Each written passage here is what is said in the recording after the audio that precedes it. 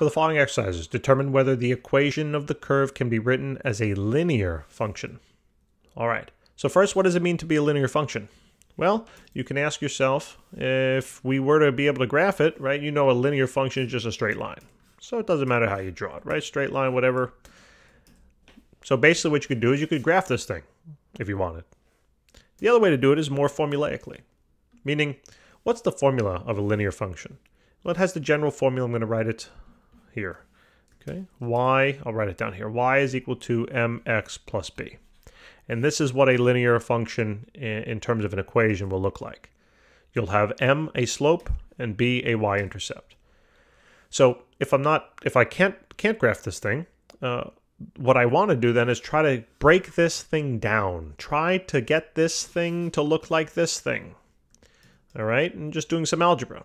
They might already be looking at it and saying, hmm, something looks a little strange, but let me try to do it. So the first thing is I got to solve this thing for y. I want to get y by itself. So if that's the goal, add the 2, right? Add the 2x squared on over to the right-hand side. That would cancel, right? Leaving you with then 3y squared is equal to 2x squared plus 6. Divide out the 3 now from both sides, right? Divide that 3. You can actually now take this 3 and basically distribute it to each num uh, numerator term if you like. So it would look something similar to this. So it would be 2 over 3 x squared plus then 6 over 3. What's 6 over 3? You know this, right? It's 2. Now, I need to get y by itself, right? That means I'd have to take the square root, which is okay. I can do that on the left, right? I could also do that on the right, but is there any way I can get rid of this x squared? Well, no, right? Since we have two terms under the radical, we cannot basically distribute this radical to each of the terms. So there's no way, there's no way I can break this thing down to look like this. It's, it's literally impossible, all right? I, I be, also, right, again, I cannot get rid of that x squared. And even if I were to plug this in, square root of 3, uh, excuse me, 2 over 3 x squared plus 2, there's no square root in this. Okay, so there's literally no way that this can be done. So if there's no way I can make it match up, well, if you think about that, right? If there's no way that if the if the, if if there's no way possible that I can do it, doesn't mean that that's the answer, right? It just means I might not know how to do it. But but I'm positive in this case, all right? Just in case for anyone who was thinking philosophically about what I was saying. So it, it's it, it is impossible. Okay. Um, so now let's take a look at the next one. So what our job here is, our job is to take this thing and break it down into y equals something. So the first thing is I notice y is basically by itself. Well, first thing I like to write it on the left, right? I'm sure a lot of you do too. So I'm going to write 2y is equal to negative, negative x minus 3 over 5. The next thing I realize is I can divide by 2, but let me try to clean this up a little bit. All right. Now notice this is a negative term. There's a negative term here. So basically what I can do is distribute that negative, right? I'll move this over a little bit. I'll put this in parenthesis. So basically first what I'm going to do is I'm going to distribute this negative to each of the numerator terms. Okay. So that would look, make this look something like this. 2y and let me do this a little bit further to the left, just give myself a little more space. So this would be equal to then 2y minus x plus 3 all over 5. Now I like that a little better, right, because there's no negative hanging outside.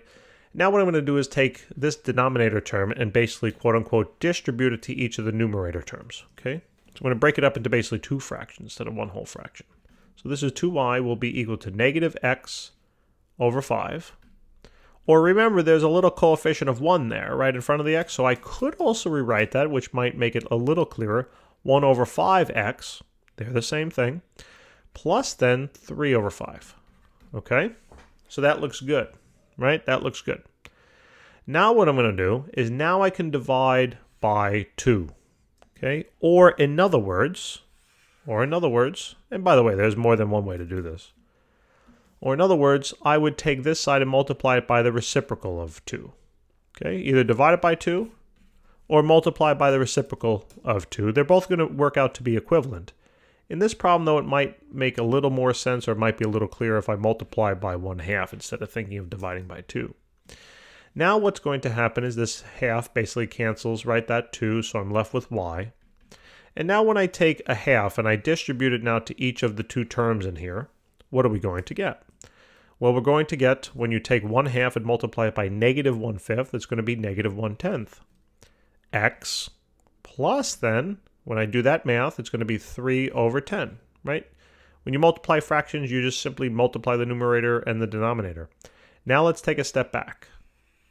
Does this equation look like it follows the form y is equal to mx plus b?